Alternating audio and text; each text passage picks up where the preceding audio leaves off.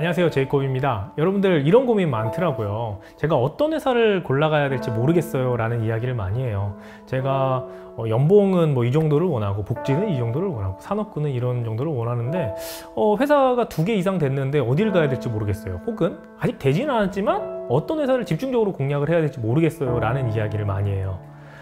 어떤 회사가 좋은 회사일까요? 예, 급여가 높으면 좋을까요? 복지가 좋으면? 워라벨이 지켜지면? 뭐 직무의 커리어가 좋아지면? 뭐 이런 얘기 있는데 뭐 예전에 제이콥 모드였다면 제가 커리어에 대한 이야기를 했을 거예요. 근데 뭐 그건 당연히 중요한 겁니다. 근데 지금은 약간 톤이 다르죠 그래서 이번 시간에 인생을 놓고 좀 이야기를 해드리고 싶어요. 어, 커리어도 당연히 좋은데 그거는 정말 열심히 어, 살아라 빡세게 살아라 고생하면서 열심히 살아야지 너는 잘 산다 이런 관점으로 이야기해줄 때는 커리어가 상당히 중요합니다. 근데 여러분 행복의 관점으로 놓고 본다면 조금 결이 달라질 것 같아요. 연봉 연봉 높은 곳을 가야 된다 아 좋아요 근데 일단 산업군이 정해지면 연봉은 큰 차이가 안 나요 거기서 겁니다 많이 차이 나봤자 500만원 연봉 500만원 차이에요 그러면 월 수령액으로 따지면 30만원 차이 나나? 그걸로 나의 대세가 바뀌지 않아요 복지? 차이가 많이 난다? 많이 안 난다? 아 크게 차이 나지 않습니다 네. 워라벨? 이 또한 마찬가지예요 한 산업군이 정해지면 그 안에는 비슷비슷해요 뭐 영상을 만드는 미디어 산업군 비슷합니다 식품 산업군 비슷해요. 그러니까 한 산업군을 정하는 순간부터 거의 비슷한 나의 삶을 살기 때문에 그것도 크게 차이 나지 않아요. 여러분들 어디서 딱 듣고선 아 여기는 좀 더 좋다더라 나쁘더라. 이걸 가지고 판단할 건 아니에요. 내가 일을 조금 더 할 때 얻는 것도 또 있기 때문에 그걸 것도 판단할 수 없어요. 뭐 거리? 뭐 다양한 요소들을 따지잖아요. 저는 이런 것보다 가장 중요한 게 있어요.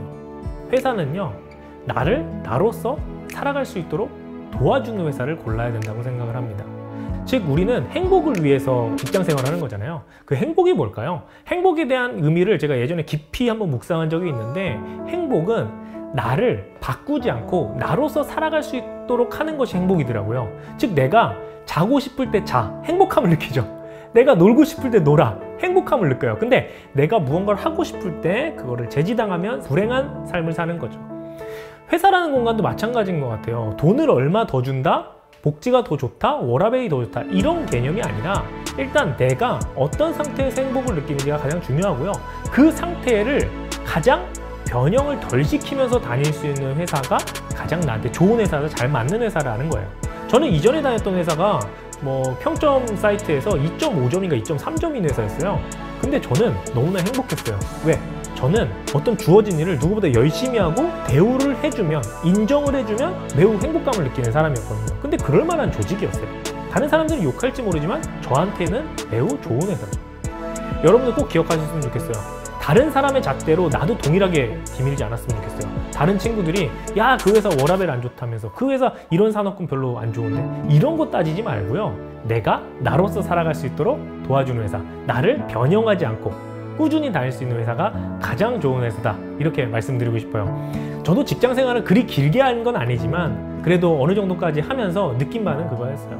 아 회사라는 곳은 나쁜 곳, 좋은 곳이 있는 것이 아니라 나랑 맞는 곳, 맞지 않는 곳이 있는구나. 이렇게 생각을 하게 되었습니다. 여러분들 나를 나대로 살 수 있는 그런 회사 꼭 찾길 응원하겠습니다. It's really hard. And you have to do it over a sustained period of time. So if you don't love it, if you're not having fun doing it, you don't really love it, uh, you're going to give up. Oftentimes, it, it's the ones that are successful love what they did so they could persevere when you know when it got really tough, and and the ones that, that didn't love it quit. If you don't love it, you're going to fail. So you got to love it. You got to have passion.